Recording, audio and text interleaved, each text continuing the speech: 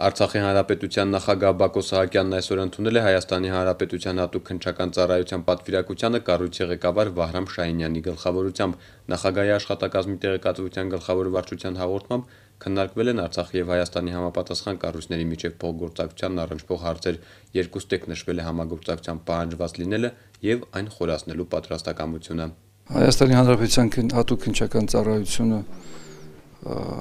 ժամանել է Արցախի հանրապետություն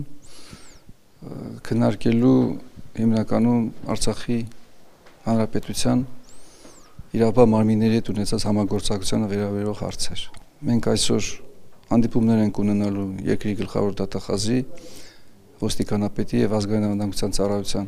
ղեկավարի հետ։ Կարծում եմ, որ մեր այցելությունը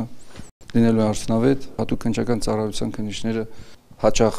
լինում են Լեռնային Ղարաբաղում եւ ծառայության առանձնատկություններից ելնելով կոնկրետ քննչական գործողությունները կատարում են տեղում, իսկ հիշալ գործողությունների արդյունավետությունը բարձրացնելու համար շատ կարևոր նշանակություն ունի Լեռնային Ղարաբաղի ապա մարմինների հետ համագործակցությունը։